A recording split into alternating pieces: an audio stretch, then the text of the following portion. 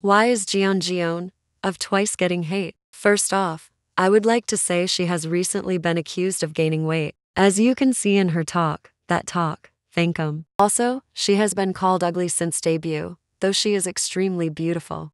Conclusion She's hated for being fat and ugly, but that's not true.